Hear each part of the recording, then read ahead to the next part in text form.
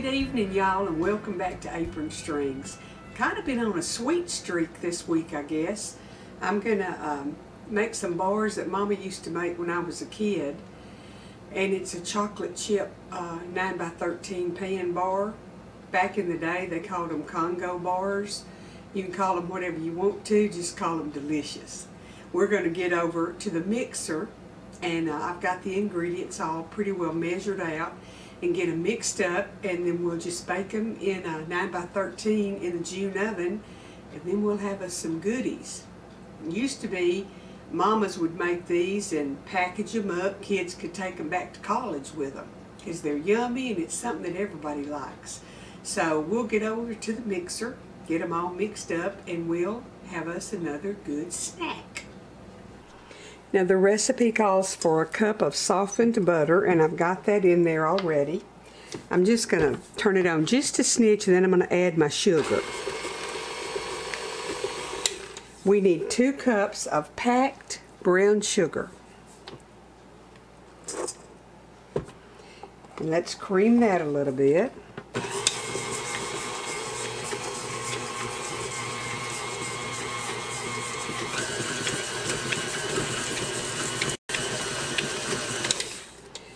We need to add three eggs.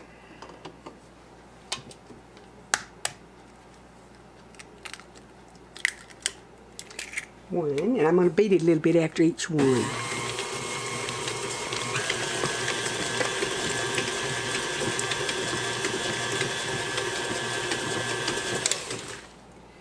And two. That's a big old egg. That chicken got busy. Ooh, that's a double yolk. How about that?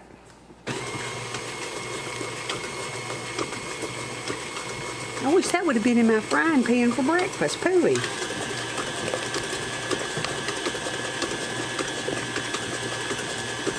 And we need one more.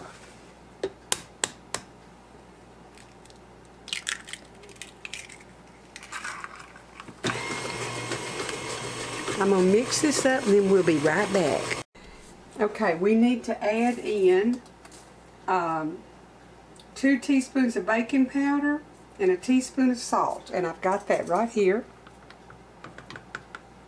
And I'm going to go ahead and add in one tablespoon of vanilla. This is some that I made.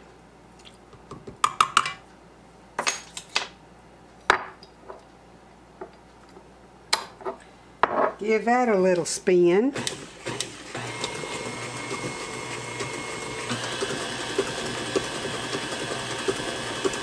That brown sugar is going to make them taste yummy. I like anything with brown sugar in it. Okay, now I need to add two and a half cups of flour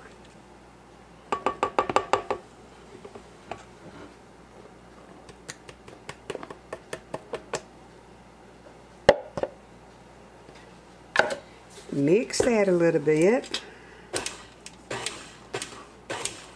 Told y'all one time I had told my friend, add your flour and then bump it. Well, I meant bump it off and on like this. She turned it on full speed and went to hitting on the bowl, and she had flour everywhere.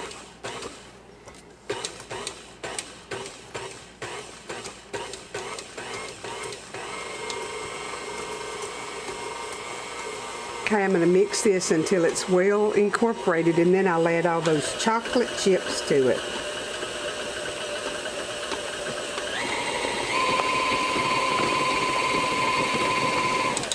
I'm going to scrape it down just to be sure that everything is real thick.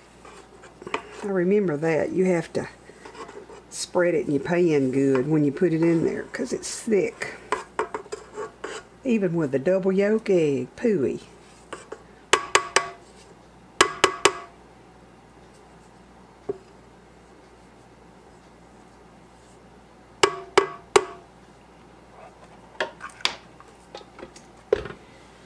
Okay, I'm going to go ahead and add my chocolate chips. I've got one and a half cups of milk chocolate and a half a cup of semi-sweet chocolate. Now that's up to y'all what kind you want to put in it.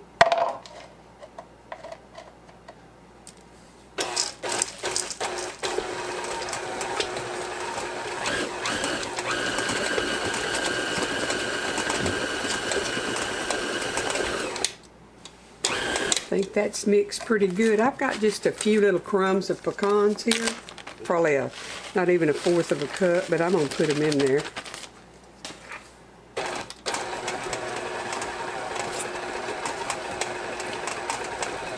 Okay, I'm going to get y'all back over to the butcher block and we'll get this uh, put in the pan and ready to bake. Okay, I sprayed this pan with uh, kitchen spray. And what I'm going to do, because it's very thick, I'm just going to dollop it in there. And then I'll try to spread it around the meat.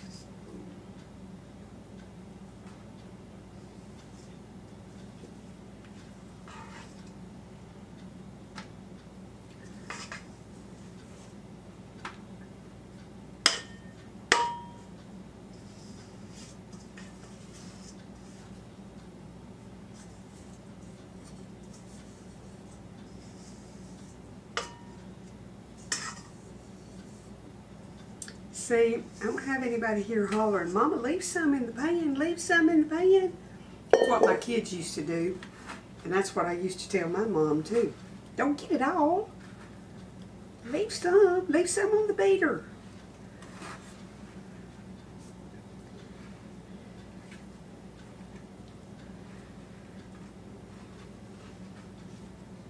I got one chicken out there, she was the uh, head of the pecking order when I had the four red chickens. And she was mean.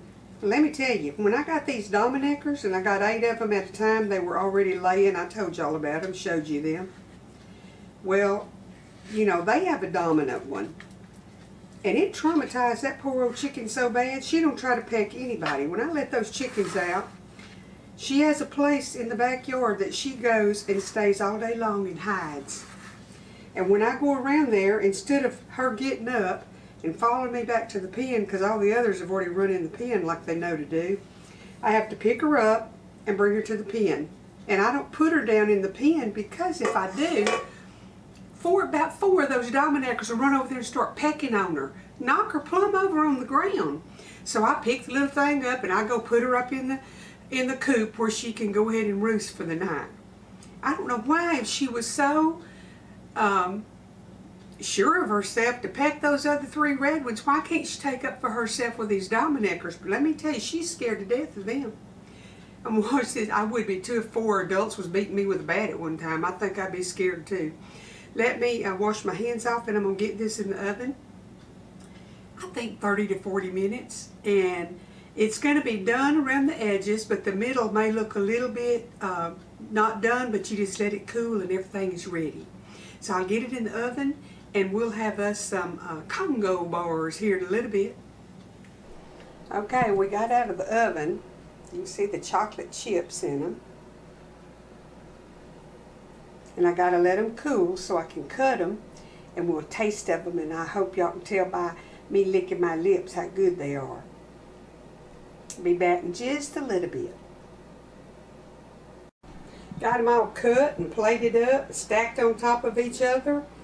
And let me tell you what, they are just chocolate goodness, folks. Y'all need to try this recipe real fast. Okay, y'all, you got you another 100-year-old recipe to try, and it is tried and proven and delicious. If you like chocolate and you like chocolate chips, it's, uh, it's like a soft chocolate chip cookie almost. It's delicious. So y'all try it and let me know what you think about it.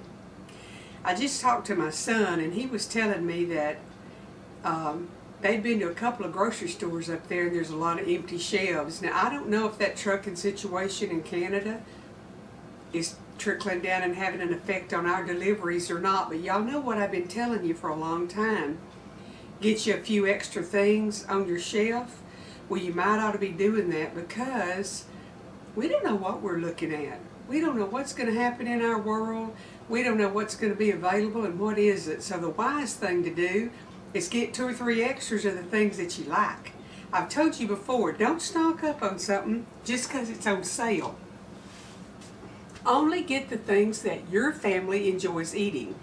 Now, if everybody in the family don't like beans and rice, I'd get some beans and rice anyway because that's something that'll fill your tummy up and keep you full. And I've told you before, oatmeal is a great thing to have. It's healthy for you and it keeps you full when you eat it. You don't get hungry again in an hour. So think about some things that will sustain you for a longer period of time should we have issues and should the shelves become more bare than they are now. And tell you, there's some pretty, pretty bare places in a lot of the stores. Some of ours down here, a lot of the canned goods and stuff's not there. So just be wise. I don't want any of my friends to need something and not have it. Have you some extra baking powder and baking soda and flour and sugar and salt, stuff to cook with. You know, you make a, corn, a pan of cornbread, you're doing pretty good, or a pan of biscuits. Have those things that you need to cook with and, and uh, just, just be wise. Prepare a little bit ahead.